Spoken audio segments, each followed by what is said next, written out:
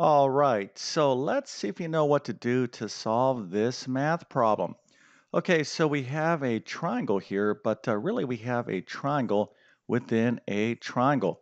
But uh, let's take a look at this information. So this side of the triangle, of the larger triangle, is 9. We don't have this side, and this side right here is uh, made up of two uh, segments. So this side right here is x, and this side right here, or this uh, segment, of this side is 4. Now this height of this smaller triangle is 6. Okay, so uh, kind of looking at this figure, the question is, what is x? So this is what we're trying to solve for x right here. And again, we have a triangle within a triangle. All right, now if you think you know how to solve this, go ahead and put your answer into the comment section.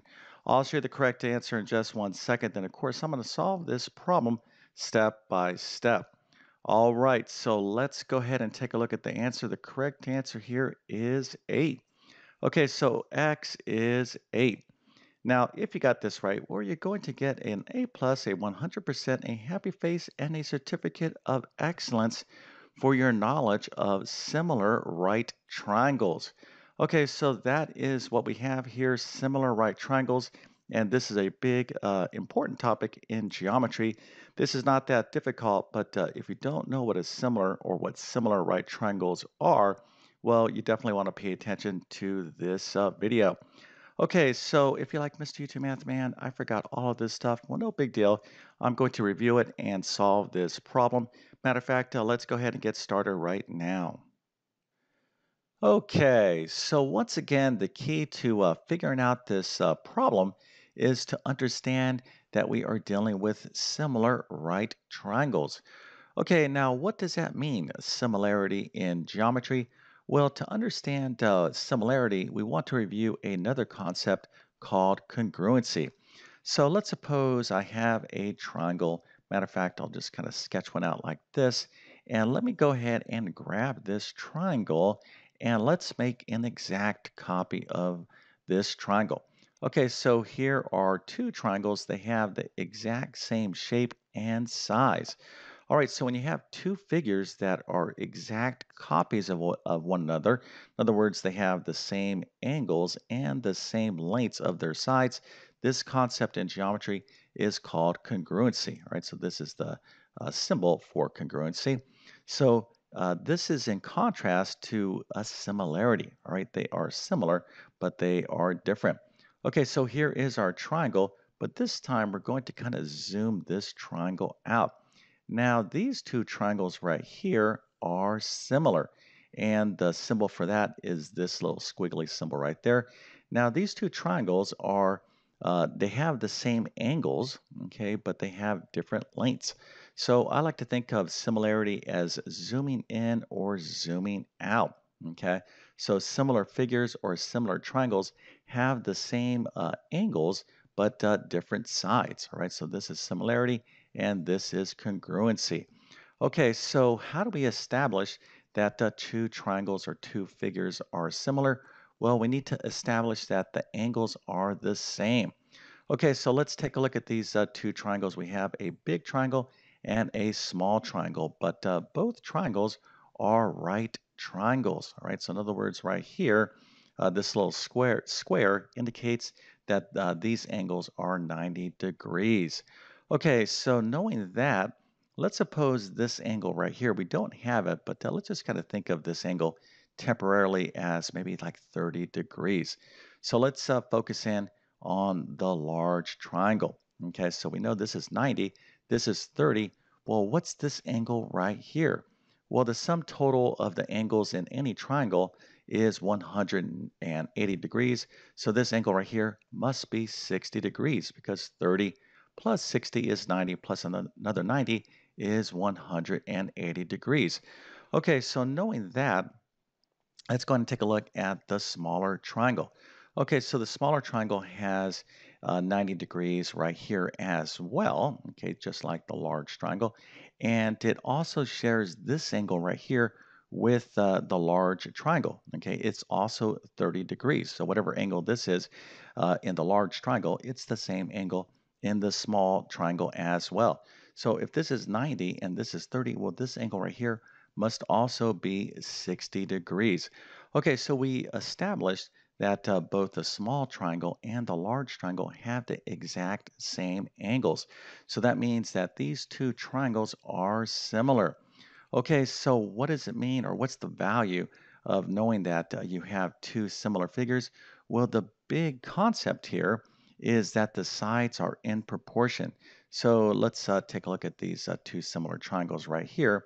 So what it means uh, to uh, have proportionate sides is that if you took this side, and again, these two triangles right here would be similar, if you took this side right here and you divided it by this side, or maybe like the height divided by the base, well, that is going to be the same value or same ratio as if we take the height over here and divide it by the base of this triangle right here, okay? So um, similar figures and similar triangles are in proportion. So this is a huge concept to understand in geometry, and we can use this concept to solve for x. Okay, so let's go ahead and get into that part right now. Okay, so once again, we are dealing with similar right triangles, and I just uh, showed you how we can establish uh, that uh, two triangles are similar. Now, in geometry, you learn a lot of uh, theorems and postulates uh, to establish congruency and uh, similarity. But I guess the main concept to remember about similarity is that if you can establish that uh, two figures, whether they be triangles or something else, have the exact uh, same angles, well, they are similar. Okay, so now we can use some algebra to figure out what x is equal to. So what we want to be doing here is comparing the height of the small triangle to its base. So the height of the small triangle is 6, its base is x. Now the height of the large uh, triangle is 9, and its base is x plus 4, right? So it's in this entire length. So this right here is x, this right here is 4, so its entire base is x plus 4. Okay, so we can compare uh, the same sides. In other words, we can compare the height to the base of each triangle, we will have the same value. So this is what we call a proportion in math. All right, so uh, sometimes it's easier to see these uh, two triangles, you can kind of break them out like this. But uh, here is the height, here is the base of the small triangle, here is the height of the large triangle, and here is the base of the large triangle. Okay, so what we want to do is set up a proportion or two equal fractions. So the height over the base will be equal to the height over the base when you have two similar figures or two similar triangles.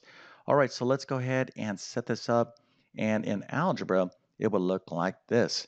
All right, so 6 over x is going to be equal to 9 over x plus 4. So anytime you have a sum or difference uh, in algebra, anything that uh, you are adding or subtracting a variable to, go ahead and put parentheses around that, uh, put parentheses around that expression. That's really going to help you out.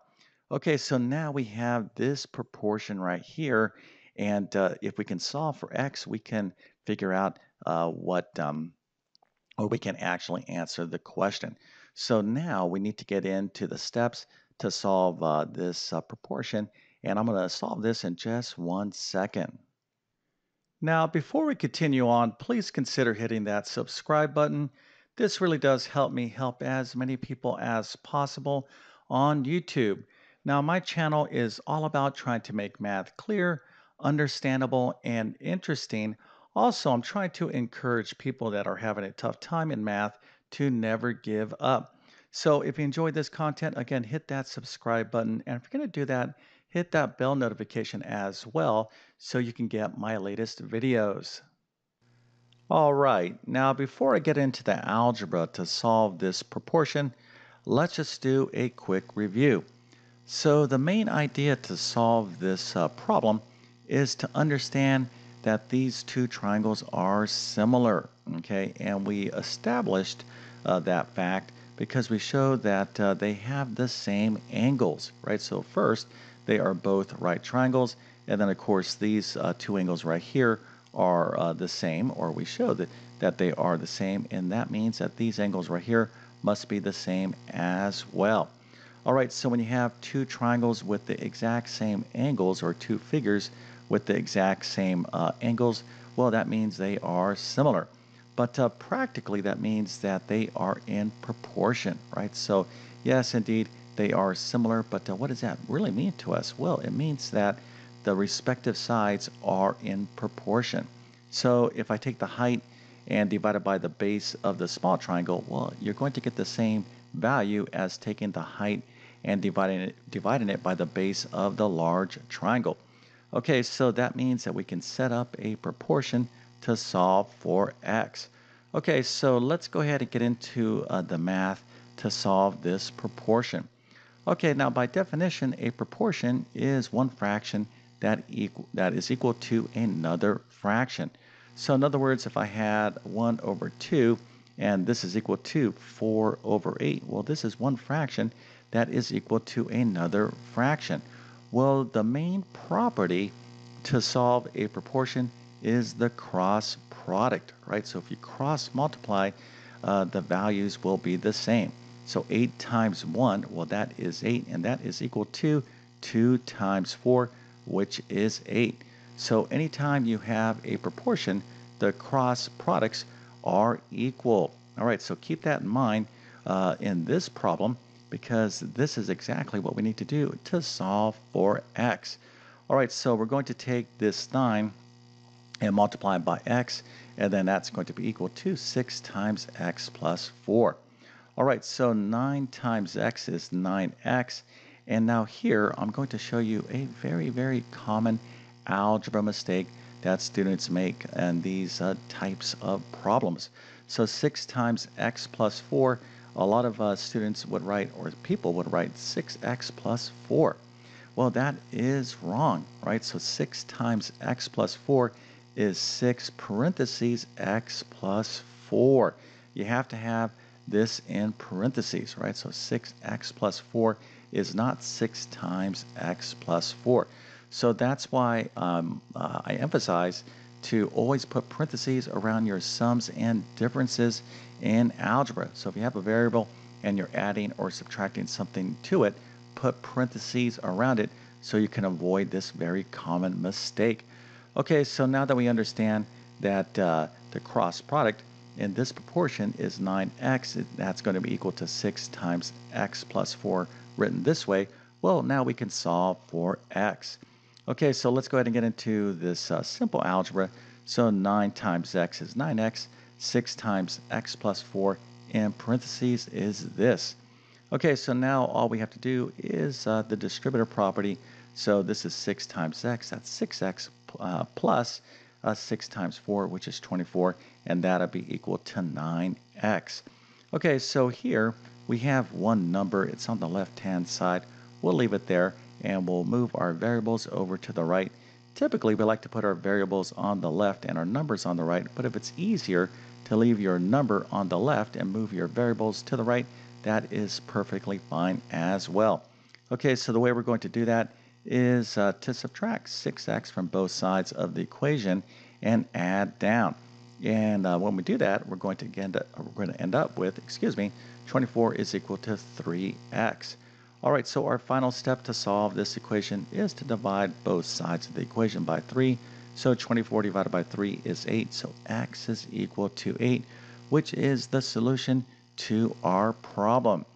Okay, so the main idea here, outside of uh, you know similar figures and congruency and all that kind of stuff, is that in geometry you use a lot of algebra.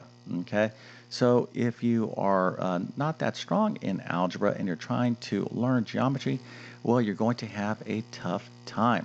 So make sure you go back and review or strengthen your algebra skills when you are trying to understand geometry. But uh, beyond that, the only way to really kind of retain and uh, master all of this is, you know, really boils down to practicing. Because if you're like, hey, Mr. Math Man, I understand what's going on here, no big deal. Well, I think a lot of people, you know, they'll watch me solve a problem and they will understand. But uh, in, let's say you know, a few weeks from now or a month, could you actually remember, you know, uh, how to do this problem? Okay, so the only way you're going to remember and retain is by practicing, practicing, practicing. Okay, so I hope this video helped you out, and if that's the case, don't forget to like and subscribe. Now, if you need additional help in geometry, check out these courses right here. So in my pre-algebra course, I have a couple of chapters on basic geometry, but uh, if you have to understand all things geometry to include uh, proofs, then you got to check out my full geometry course. Now, if you want a good math review of basic math, algebra, and geometry, then check out my Math Skills Rebuilder course. All right, so I'm going to leave links to all these courses in the description of this video. And with all that being said, I definitely wish you all the best in your math adventures. Thank you for your time and have a great day.